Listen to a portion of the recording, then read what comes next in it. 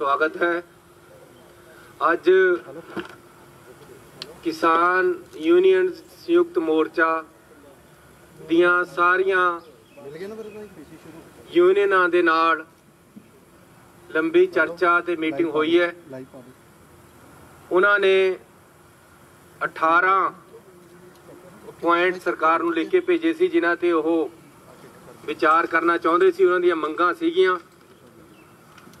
ਤਾਂ ਮੈਂ ਇਹ ਦੱਸਦੇ ਹੋਏ ਖੁਸ਼ੀ ਮਹਿਸੂਸ ਕਰ ਰਿਹਾ ਕਿ ਕਿਸਾਨ ਯੂਨੀਅਨਾਂ ਦੇ ਨਾਲ ਬਹੁਤ ਹੀ ਵਧੀਆ ਤਰੀਕੇ ਦੇ ਨਾਲ, ਅੱਛੇ ਮਾਹੌਲ ਦੇ ਵਿੱਚ, ਖੁਸ਼ੀ ਦੇ ਮਾਹੌਲ ਦੇ ਵਿੱਚ, ਆਪਸੀ ਤਾਲਮੇਲ ਦੇ ਵਿੱਚ ਬਹੁਤ ਵਧੀਆ ਮੀਟਿੰਗ ਹੋਈ ਹੈ ਤੇ ਲਗਭਗ ਉਹਨਾਂ ਦੀਆਂ ਸਾਰੀਆਂ ਜੋ ਉਹਨਾਂ ਨੇ ਸਾਨੂੰ ਕਿਹਾ ਅਸੀਂ ਉਸ ਉਸ ਤੋਂ ਵੀ ਉੱਪਰ ਦੋ ਚਾਰ ਹੋਰ ਮੰਗਾਂ ਜਿਹੜੀਆਂ ਬਾਅਦ ਵਿੱਚ ਵੀ ਉਹਨਾਂ ਨੇ ਦੱਸੀਆਂ, ਉਹ ਸਰਕਾਰ ਨੇ ਮੰਨ ਲਈਆਂ।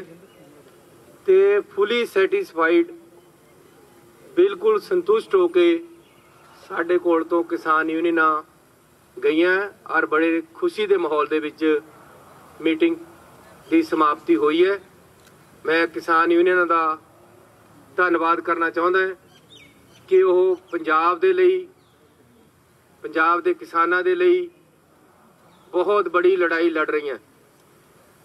ਔਰ ਮੈਂ ਉਹਨਾਂ ਨੂੰ ਵਿਸ਼ਵਾਸ ਦਵਾਇਆ ਕਿ ਪੰਜਾਬ ਦੀ ਸਰਕਾਰ ਹਰ ਤਰੀਕੇ ਦੇ ਨਾਲ ਕਿਸਾਨ ਯੂਨੀਅਨਾਂ ਦੇ ਨਾਲ ਖੜੀ ਹੈ ਤੇ ਉਹਨਾਂ ਦੇ ਮੋਰਚੇ ਦੇ ਵਿੱਚ ਜੇਕਰ ਸਾਨੂੰ ਅਸਤੀਫਾ ਦੇ ਕੇ ਵੀ ਉਹ ਕਹਿਣ, ਤਾਂ ਅਸੀਂ ਉਹਨਾਂ ਦੇ ਨਾਲ ਜਾਣ ਨੂੰ ਤਿਆਰ ਹੈ ਤੇ ਅਸੀਂ ਉਹਨਾਂ ਦੀ ਹਰ ਤਰੀਕੇ ਦੇ ਨਾਲ ਮਦਦ ਦੇ ਵਿੱਚ ਪੰਜਾਬ ਦੀ ਸਰਕਾਰ ਖੜੀ ਹੈ।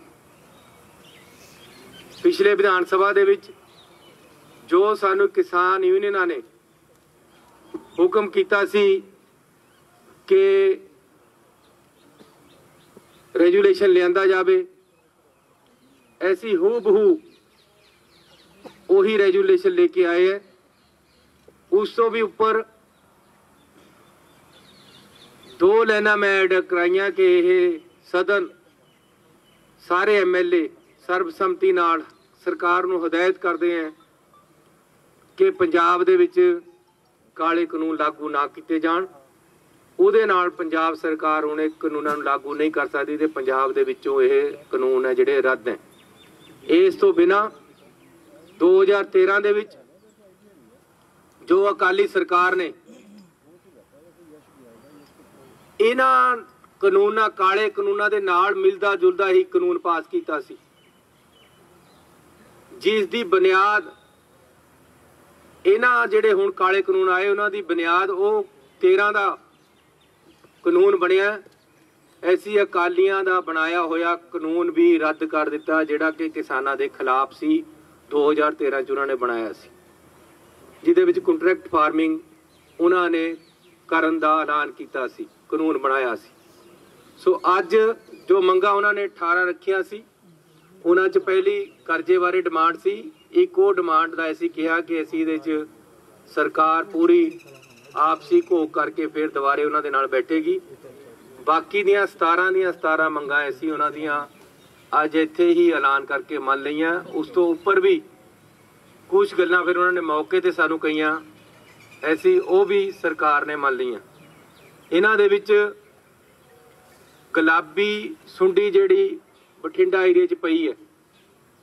ਹਾਲਾਂਕਿ ਮੈਨੂੰ ਸਵੇਰੇ ਉਗਰਾਹਾਂ ਗਰੁੱਪ ਵਾਲੇ ਵੀ ਮਿਲੇ ਸੀ, ਉਹਨਾਂ ਦੀ ਡਿਮਾਂਡ ਸੀ। ਉਹਨਾਂ ਨੇ ਉੱਥੇ ਸੰਘਰਸ਼ ਵੀ ਕਰ ਰਹੇ ਆ ਉਧਰ ਕਿ ਕਿਸਾਨਾਂ ਨੂੰ ਮੁਆਵਜ਼ਾ ਵੱਧ ਦਿੱਤਾ ਜਾਵੇ। ਅੱਜ ਵੀ ਕਿਸਾਨਾਂ ਨੇ ਇਸ ਗੱਲ ਦਾ ਮੁੱਦਾ ਉਠਾਇਆ ਪਰ ਮੈਂ ਆਪਣੇ ਵੱਲੋਂ ਹੀ ਵੱਧ ਜਿਹੜਾ ਮੁਆਵਜ਼ਾ ਦੇਣਾ ਅਸੀਂ ਸਰਕਾਰ ਚਾਹੁੰਦੀ ਹੈ। ਸੋ ਜਿਹੜਾ 12000 ਦਾ ਪਹਿਲਾ ਮੁਆਵਜ਼ਾ ਗਿਆ ਹੈ ਕਿਸਾਨਾਂ ਨੂੰ, ਹੁਣ ਅਸੀਂ ਕੁੱਲ 17000 ਰੁਪਇਆ ਜਿਨ੍ਹਾਂ ਦਾ 75% ਤੋਂ ਵੱਧ ਨੁਕਸਾਨ ਹੋ ਗਿਆ, ਜਿਹਨੂੰ 100% ਮੰਨਿਆ ਜਾਂਦਾ ਹੈ, ਉਹਨਾਂ ਨੂੰ 17000 ਰੁਪਇਆ 12000 ਦੀ ਬਜਾਏ 17000 ਰੁਪਇਆ ਕੁੱਲ ਹੈ ਜਿਹੜਾ ਉਹ ਮੁਆਵਜ਼ਾ ਦਵਾਂਗੇ। ਤੇ ਨਾਲ ਨਾਲ ਜਿਹੜਾ ਮਜ਼ਦੂਰ ਨਰਮੇ ਨੂੰ ਚੁਗਦਾ ਜਿਹਨੂੰ ਚੋਗਾ ਕਹਿੰਦੇ ਆ। ਉਹਨੂੰ 10% ਮੁਆਵਜ਼ਾ ਇਸ ਤੋਂ ਉੱਪਰ ਦਿੱਤਾ ਜਾਏਗਾ।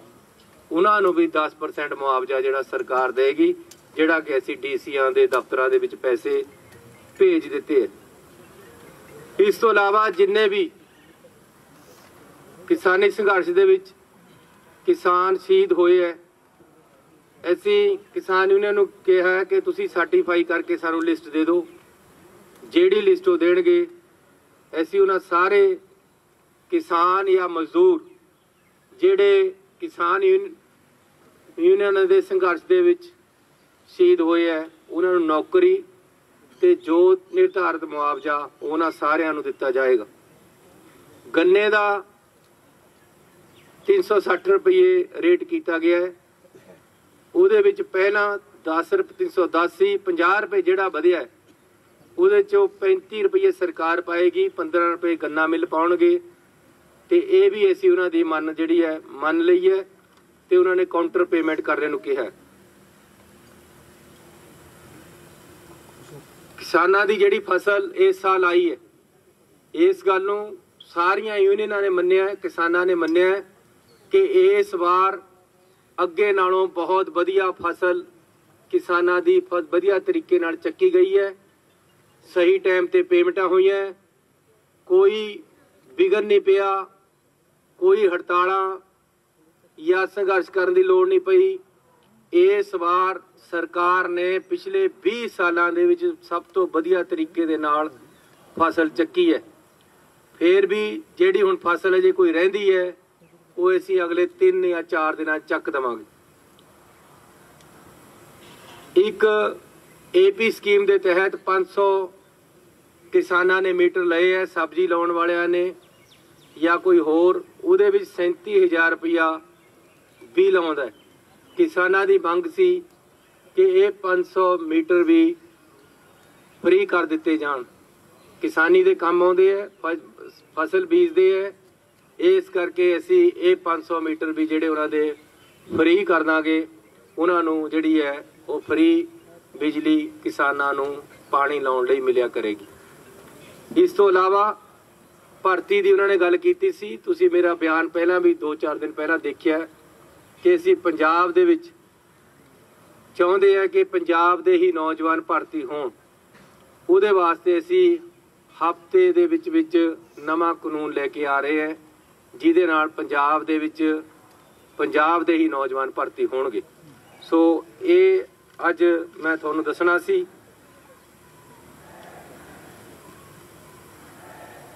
ਇੱਕ ਹੋਰ ਵੱਡੀ ਗੱਲ ਜਿਹੜੀ ਕਿਸਾਨਾਂ ਨੇ ਸਾਤੋਂ ਮੰਗ ਕੀਤੀ ਸੀ ਕਿ ਪਿਛਲੇ ਜਿੰਨੀ ਦੇਰ ਤੋਂ ਸੰਘਰਸ਼ ਚੱਲ ਰਿਹਾ ਹੈ, ਬਹੁਤ ਸਾਰੇ ਪਰਚੇ ਪੰਜਾਬ ਸਰਕਾਰ ਵੱਲੋਂ ਕਿਸਾਨਾਂ ਤੇ ਕੀਤੇ ਗਏ ਹੈ। ਐਸੀ ਜਿਹੜਾ ਵੀ ਪਰਚਾ ਕਿਸਾਨ ਅੰਦੋਲਨ ਦੇ ਨਾਲ ਸੰਬੰਧਿਤ ਹੈ ਉਹ ਸਾਰੇ ਪਰਚੇ ਰੱਦ ਕਰ ਰਹੇ। ਇਹ ਸਰਕਾਰ ਵੱਲੋਂ ਅੱਜ ਫੈਸਲਾ ਲੈ ਲਿਆ ਗਿਆ ਇਸ ਦੇ ਨਾਲ ਨਾਲ ਅੱਗੇ ਤੋਂ ਅਸੀਂ ਚਾਹੁੰਦੇ ਹਾਂ ਕਿ ਪਰਾਲੀ ਨੂੰ ਕੋਈ ਕਿਸਾਨ ਅੱਗ ਨਾ ਲਾਵੇ। ਤੇ ਇਸ ਗੱਲ ਦੀ ਸਖਤੀ ਵੀ ਸਰਕਾਰ ਕਰੇਗੀ। ਲੇਕਿਨ ਅੱਜ ਤੱਕ ਪੁਰਾਣੇ ਜੇ ਕੋਈ ਪਰਾਲੀ ਦੇ ਨਾਲ ਸੰਬੰਧਿਤ ਕਿਸੇ ਤੇ ਪਰਚਾ ਹੈ ਅੱਗ ਲਾਉਣ ਲਈ, ਉਹ ਅਸੀਂ ਕੈਨਸਲ ਕਰ ਰਹੇ ਹਾਂ।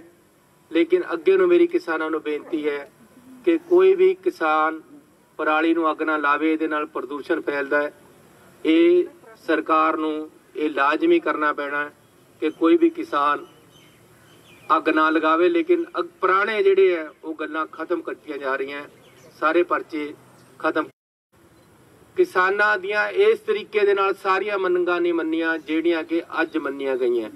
ਔਰ ਉਹਨਾਂ ਨੇ ਮੈਨੂੰ ਕਿਹਾ ਕਿ ਅੱਜ ਸਾਨੂੰ ਲੱਗਿਆ ਹੈ ਕਿ ਕੋਈ ਐਸਾ ਮੁੱਖ ਮੰਤਰੀ ਬਣਿਆ ਜਿਹੜਾ ਕਿਸਾਨ, ਕਿਸਾਨੀ ਦੇ ਹੱਕ ਵਿੱਚ ਕੰਮ ਕਰਦਾ ਹੈ ਜਿਨੇ ਖੇਤਾਂ ਬਾਰੇ ਹਰ ਚੀਜ਼ ਦੀ ਨੌਲੇਜ ਹੈ ਜਿਨੇ ਪੰਜਾਬ ਦੇ ਲੋਕਾਂ ਦੀ ਸਰਕਾਰ ਹੈ, ਆਮ ਲੋਕਾਂ ਦੀ ਸਰਕਾਰ ਹੈ, ਉਸ ਵੱਲੋਂ ਇਹ ਵਚਨਬੱਧਤਾ ਦੁਹਰਾਉਂਦਾ ਕਿ ਪੰਜਾਬ ਸਰਕਾਰ ਕਿਸਾਨੀ ਮੁੱਦਿਆਂ ਤੇ ਕਿਸਾਨ ਜਿਹੜਾ ਅੰਦੋਲਨ ਚੱਲ ਰਿਹਾ, ਉਹਦੇ ਇਹਨਾਂ ਦੇ ਨਾਲ ਖੜੀ ਹੈ। ਤੁਹਾਡਾ ਸਾਰਿਆਂ ਦਾ ਬਹੁਤ ਬਹੁਤ ਧੰਨਵਾਦ। ਸੀਐਮ ਸਾਹਿਬ ਇੱਕ ਸਵਾਲ ਹੈ ਕਿ ਕਨੈਕਸ਼ਨ ਹੈ ਜਿਹੜੇ ਕਿਸਾਨਾਂ ਦੇ ਉਹ ਬੰਦ ਕੀਤੇ ਹੋਏ ਸੀ ਲੰਬੇ ਸਮੇਂ ਤੋਂ। ਦੁਬਾਰਾ ਖੋਲ੍ਹਣ ਬਾਰੇ ਕੁਝ ਸੋਚ ਰਹੀ ਹੈ? ਉਹਦੇ ਬਾਰੇ ਵੀ ਮੈਂ ਉਹਨਾਂ ਨੂੰ ਕਿਹਾ ਕਿ ਅਸੀਂ ਵਿਚਾਰ ਕਰਾਂਗੇ ਹਾਲਾਂਕਿ ਇਹ ਲਿਖਤੀ ਡਿਮਾਂਡ ਨਹੀਂ ਸੀ ਉਹਨਾਂ ਦੀ। ਸੀਐਮ ਸਾਹਿਬ ਲੈ ਕੇ ਜਿਹੜੀ ਦੂਜੀ ਬੈਠਕ ਹੋਈ ਉਹਦੇ ਬਾਰੇ ਦੁਬਾਰੇ ਟਾਈਮ ਲੈ ਕੇ ਜੇ ਕੋਈ ਹੋਰ ਵੀ ਮੰਗਾਂ ਉਹਨਾਂ ਦੀਆਂ ਹੋਣਗੀਆਂ ਅੱਜ ਅਸੀਂ ਲਗਭਗ ਸਾਰੀਆਂ ਮੰਨ ਲਈਆਂ।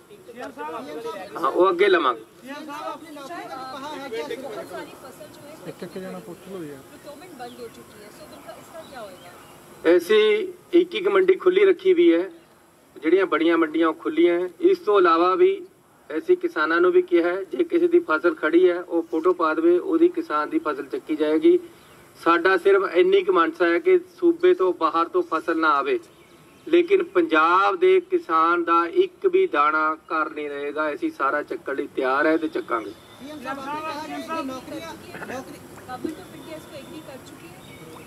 ਗਵਰਨਮੈਂਟ ਆਫ ਇੰਡੀਆ ਦੇ ਨਾਲ ਸਾਡੀ ਪਹਿਲੇ ਦਿਨ ਤੋਂ ਗੱਲ ਹੋਈ ਵੀ ਹੈ। ਜੋ ਪੰਜਾਬ ਦੀ ਕਿਸਾਨੀ ਹੈ, ਜੋ ਪੰਜਾਬ ਦੀ ਫਸਲ ਹੈ, ਉਹ ਜ਼ਰੂਰੀ ਹੈ ਚੱਕਣੀ ਤੇ ਅਸੀਂ ਚੱਕਾਂਗੇ। ਬਾਹਰ ਤੋਂ ਅਸੀਂ ਆਉਣ ਨਹੀਂ ਦਵਾਂਗੇ आपने कहा सर कि नौकरियों में अ, कानून लेके आएंगे अब सरकारी नौकरियों पे ही एप्लीकेबल होगा या फिर निजी अ, पर ਫਿਲਹਾਲ ਅਸੀਂ ਸਰਕਾਰੀ ਨੌਕਰੀਆਂ ਵਾਸਤੇ ਕਾਨੂੰਨ ਲੈ ਕੇ ਆਏ ਹਾਂ ਕਿਉਂਕਿ ਉਹ ਬਹੁਤ ਜ਼ਿਆਦਾ ਜ਼ਰੂਰੀ ਹੈ ਆਵਾਂਗੇ ਮਤਲਬ ਸੀਐਮ ਸਾਹਿਬ ਸੀਐਮ ਸਾਹਿਬ ਵਿਕਰਮ ਜੀਜੇ ਨੇ ਹੁਣੇ ਪ੍ਰੈਸ ਕਾਨਫਰੰਸ ਕੀਤੀ ਆ ਉਹਨਾਂ ਨੇ ਵੱਡਾ ਇਲਜ਼ਾਮ ਲਾਇਆ ਉਹ ਕਹਿੰਦੇ ਕਿ ਸੀਐਮ ਸਾਹਿਬ ਨੇ ਸਦਨ 'ਚ ਵੀ ਝੂਠ ਬੋਲਿਆ ਬਿਜਲੀ ਸਮਝੌਤਿਆਂ ਤੇ ਵੀ ਬਿਜਲੀ ਦੇ ਜਿਹੜਾ ਖਰੀਦ ਦਾ ਰੇਟ ਆ ਉਹਨੂੰ ਲੈ ਕੇ ਵੀ ਝੂਠ ਬੋਲਿਆ। ਉਹ ਕਹਿੰਦੇ ਸਾਬਤ ਕਰ ਦੇਣ ਕਿ 17 ਰੁਪਏ 91 ਰੁਪਏ ਕੁਝ ਤੇ ਖਰੀਦੀ ਗਈ ਹੈ ਜਾਂ ਮੈਂ ਅਸਤੀਫਾ ਦੇਗਾ ਜਾਂ ਸਾਹਿਬ ਅਸੀਂ ਉਹਦੇ ਕਾਗਜ਼ ਦੇ ਦਾਂਗੇ ਜੋ ਉਹਨਾਂ ਨੇ ਵਾਅਦੇ ਕੀਤੇ ਹੋਏ ਹੈ ਦੂਸਰੇ ਉਹਨਾਂ ਦੇ ਨਾਲ ਉਹਦੀ ਅਸੀਂ ਜ਼ਰੂਰ ਕਾਪੀਆਂ ਜਾਰੀ ਕਰ ਦਾਂਗੇ। ਜਿਹੜਾ ਅਧਿਆਪਕਾਂ ਦੇ ਮਸਲੇ ਨੇ ਹੁਣ ਵੀ ਨਾਅਰੇਬਾਜ਼ੀ ਚੱਲ ਰਹੀ ਹੈ ਕੰਪਿਊਟਰ ਦੇ 7000 ਰੁਪਏ ਪਹੁੰਚੇ ਨੇ। ਉਹ ਕਹਿੰਦੇ ਸਰਬਤ ਸਿੰਘ ਨੇ ਵੀ ਕਿਹਾ ਕਿ ਮੈਂ ਅੱਜ ਬੰਦ ਕੁਝ ਨਹੀਂ ਕਰ ਸਕਦਾ। ਉਹ ਮਸਲੇ ਕਿਵੇਂ ਹੱਲ ਹੋਣਗੇ ਜਿਹੜੇ ਨਾਲ ਮਸਲਿਆਂ ਦੀ ਮੈਂ ਪ੍ਰਗਟ ਸਿੰਘ ਜੀ ਨੂੰ ਤੇ ਹੈਲਥ ਵਾਲਿਆਂ ਨੂੰ। ਦੋਨੋਂ ਮੰਤਰੀਆਂ ਨੂੰ, ਦੋਨਾਂ ਦੇ ਸੈਕਟਰੀਆਂ ਨੂੰ ਚੀਫ ਸੈਕਟਰੀ ਦੇ ਨਾਲ ਇੱਕ ਮੀਟਿੰਗ ਰੱਖੀ ਹੈ। ਸਾਡੇ ਲਗਭਗ ਬਾਕੀ ਮਸਲੇ EMPLOYEES ਦੇ ਹੱਲ ਹੋ ਚੁੱਕੇ ਹੈ। ਜ਼ਿਆਦਾਤਰ ਸਾਡਾ ਹੈਲਥ ਦਾ ਤੇ ਐਜੂਕੇਸ਼ਨ ਦਾ ਰਹਿੰਦਾ ਹੈ। ਉਹਦੇ ਬਾਰੇ ਅਸੀਂ 2-4 ਦਿਨਾਂ ਵਿੱਚ ਹੀ ਬੈਠ ਕੇ ਵਿਚਾਰ ਵਟਾਂਦਰਾ ਕਰਕੇ ਉਹਨਾਂ ਨੂੰ ਵੀ ਸਿਰੇ ਲਗਾਵਾਂਗੇ। ਹੁਣ ਤੁਹਾਡਾ ਸਾਰਿਆਂ ਦਾ ਬਹੁਤ ਬਹੁਤ ਧੰਨਵਾਦ। ਅਸੀਂ ਕੱਲ ਨੂੰ ਕੋਰੀਡੋਰ ਤੇ ਜਾ ਰਹੇ ਸਾਨੂੰ ਬੈਠ ਕੇ ਬੈਠ ਕੇ ਬੈਠ ਕੇ ਜੀ। 50 ਬੰਦਿਆਂ ਦਾ ਕੱਲ ਨੂੰ ਸਾਨੂੰ ਕਿਹਾ ਗਿਆ ਉਸ ਤੋਂ ਅਗਲੇ ਦਿਨ ਵੀ ਅਸੀਂ 50 ਲੈ ਕੇ ਜਾਵਾਂਗੇ। ਕੱਲ ਨੂੰ ਮੰਤਰੀ ਸਹਿਬਾਨ ਤੇ ਕੁਝ ਐਮਐਲਏ ਸਹਿਬਾਨ ਕੁਝ ਅਫਸਰ ਕੱਲ ਨੂੰ ਜਾਣਗੇ। ਪੱਤਰਕਾਰ ਸਹਿਬਾਨ ਨੂੰ ਵੀ ਅਸੀਂ ਪਰਸੋਂ ਨੂੰ ਬੇਨਤੀ ਕਰਾਂਗੇ ਕਿ ਉਹ ਵੀ ਸਾਡੇ ਨਾਲ ਪਰਸੋਂ ਨੂੰ ਜਾ ਸਕਦੇ ਹੈ ਤੇ ਵਾਰੀ-ਵਾਰੀ, ਕਿਉਂਕਿ ਸੀਟਾਂ ਸਾਨੂੰ ਜਿੰਨੀਆਂ ਮਿਲੀਆਂ ਉਹਦੇ ਵਿੱਚ ਰਹਿ ਕੇ ਅਸੀਂ ਸਾਰਿਆਂ ਨੂੰ ਨਾਲ ਲੈ ਕੇ ਜਾ ਰਹੇ ਮੈਂ ਮੁੱਖ ਮੰਤਰੀ ਬਣਨ ਤੋਂ ਬਾਅਦ ਪ੍ਰਾਈਮ ਮਿਨਿਸਟਰ ਸਾਹਿਬ ਨੂੰ ਜਿੱਦਣ ਮਿਲ ਗਿਆ, ਸਭ ਤੋਂ ਪਹਿਲੀ ਮੰਗ ਮੇਰੀ ਕੋਰੀਡੋਰ ਨੂੰ ਲੈ ਕੇ ਸੀ। ਜਦੋਂ ਹੋਮ ਮਿਨਿਸਟਰ ਨੂੰ ਮਿਲਿਆ, ਸਭ ਤੋਂ ਪਹਿਲੀ ਮੰਗ ਮੇਰੀ ਕੋਰੀਡੋਰ ਨੂੰ ਲੈ ਕੇ ਸੀ। ਉਹਨਾਂ ਨੇ ਮੈਨੂੰ ਉਸੇ ਦਿਨ ਵਿਸ਼ਵਾਸ ਦਵਾਤਾ ਸੀ ਕਿ ਅਸੀਂ ਇਸ ਨੂੰ ਖੋਲ ਦਵਾਂਗੇ। ਤੇ ਕੱਲ ਨੂੰ ਖੁੱਲ ਰਿਹਾ ਮੁਬਾਰਕ ਦਿਨ ਹੈ। ਮੈਂ ਪ੍ਰਧਾਨ ਮੰਤਰੀ ਜੀ ਦਾ ਤੇ ਹੋਮ ਮਿਨਿਸਟਰ ਸਾਹਿਬ ਦਾ ਇਸ ਬਾਰੇ ਧੰਨਵਾਦ ਕਰਦਾ ਕਿ ਉਹਨਾਂ ਨੇ ਪੰਜਾਬ ਸਰਕਾਰ ਦੀ ਡਿਮਾਂਡ ਤੇ, ਹਾਲਾਂਕਿ ਹੋਰ ਲੋਕਾਂ ਨੇ ਵੀ ਡਿਮਾਂਡ ਰੱਖੀ ਹੈ, ਪਰ ਜੋ ਐਸੀ ਰੱਖੀ ਹੈ ਸਾਨੂੰ ਉਸ ਤੇ ਖੁਸ਼ੀ ਹੈ ਕਿ ਉਹ ਜਿਹੜਾ ਲਾਂਘਾ ਖੁੱਲ ਰਿਹਾ ਹੈ, ਡਿਮਾਂਡ ਹੋਰਾਂ ਨੇ ਵੀ, ਕਿਸੇ ਨੇ ਵੀ ਰੱਖੀ ਹੋਵੇ, ਇਹ ਮਟੀਰੀਅਲ ਹੈ ਵੱਡੀ ਗੱਲ ਇਹ ਹੈ ਕਿ ਜੋ ਸਿੱਖ ਕੌਮ ਦੀ ਅਰਦਾਸ ਹੈ, ਉਹਨਾਂ ਨੂੰ ਬੂਰ ਪੈ ਰਿਹਾ ਹੈ ਤੇ ਲਾਂਘਾ ਕੱਲ ਨੂੰ ਖੁੱਲ ਰਿਹਾ ਧੰਨਵਾਦ।